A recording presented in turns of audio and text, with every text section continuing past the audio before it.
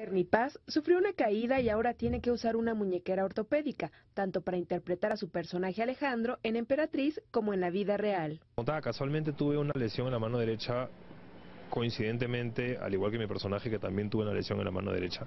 Así que tuve que estar grabando con, con yeso como 10 días, con una, férula de yeso. Después me sacaron el yeso con una venda y con un cabestrillo y poco a poco he ido recuperando, ahora solamente traigo esto. De alguna manera lo justifica mi personaje porque recibió una bala en el brazo,